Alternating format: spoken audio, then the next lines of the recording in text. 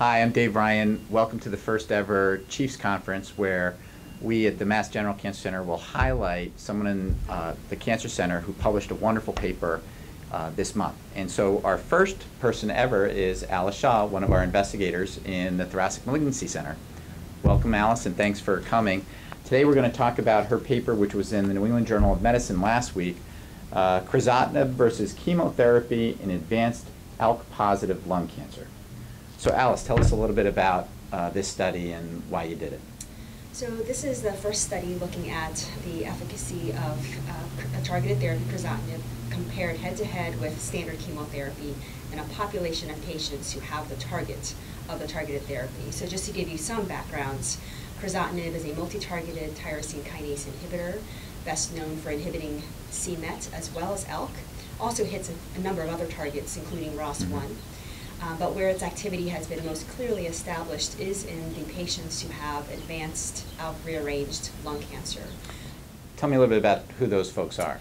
So ALK was first discovered actually a while ago, over 15 years ago, in the context of anaplastic large cell lymphoma but it was actually rediscovered um, about six years ago by Dr. Mano's group in Japan, where they identified a small subset of patients with rearrangements affecting this gene ALK, mm -hmm. um, and showed that actually this now created an ALK fusion protein which functioned as a very potent oncogenic driver, so driving the growth and proliferation of cancer cells.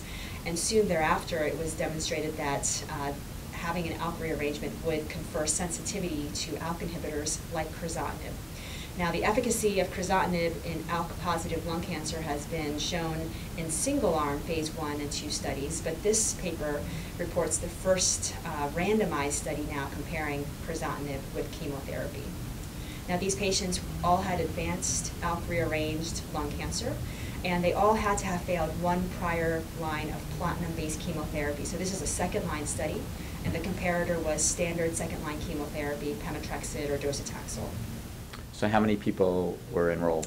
So this is a large, large study um, at many centers, over 100 sites around the world, um, enrolling 347 ALK rearranged patients. Mm -hmm. um, it accrued over about a two-year period. So just to point out that even though ALK is viewed as a relatively rare abnormality in lung cancer, affecting 3 to 5% of patients, there are the absolute numbers of these patients are quite large given how many lung cancer patients there are in general.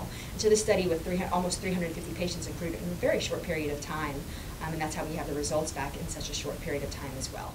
And what did you find?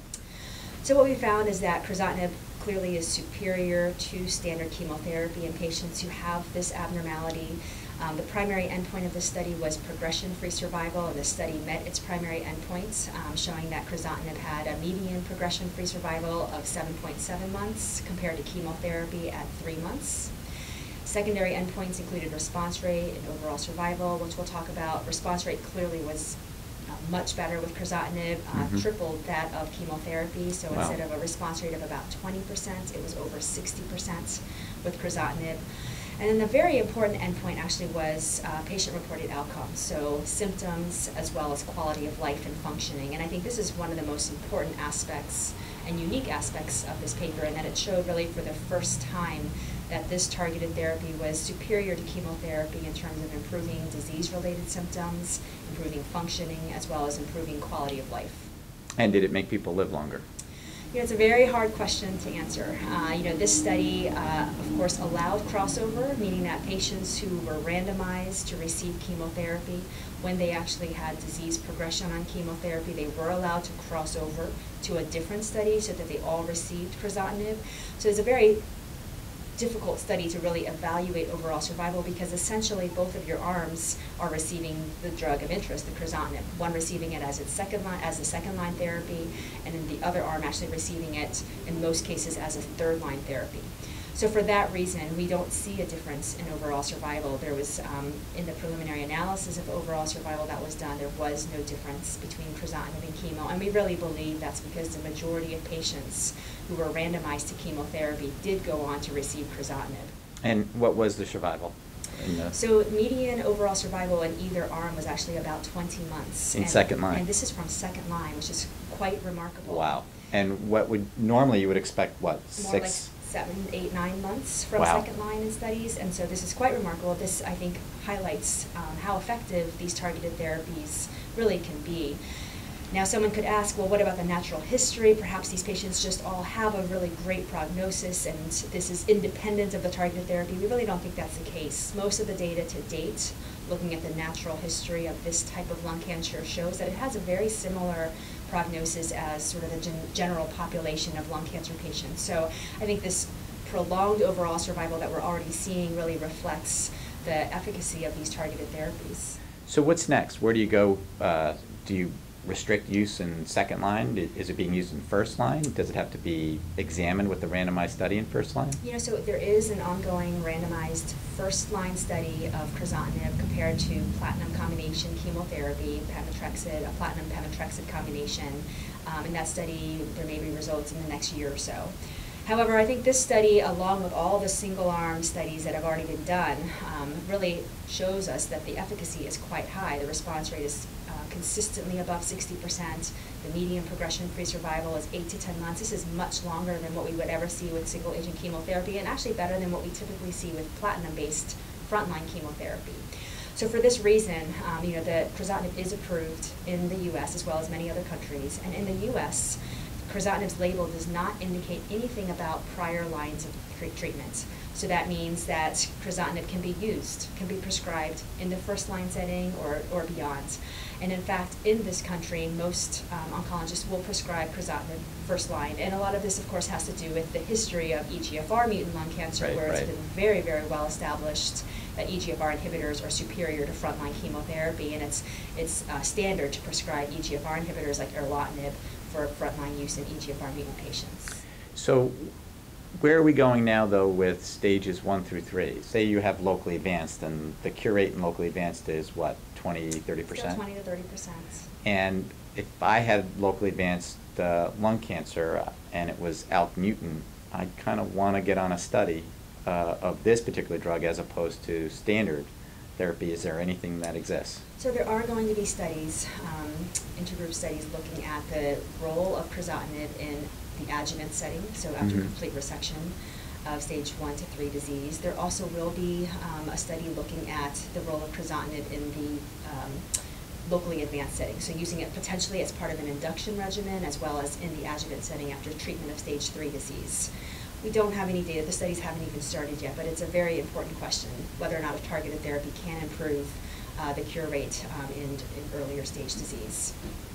Now, uh, you uh, are now among an illustrious group of investigators that have ever had two New England Journal uh, of Medicine papers in the same issue. Um, in fact, I'm not, I don't think, uh, I don't know how many people it's ever happened to, but you were senior author on a paper describing why people get resistant Right. crizotinib. So just to make it clear, I mean, that's a separate type of lung cancer Mhm. with a different rearrangement involving a gene called ROS1. Mhm. ROS1 is related to ALK.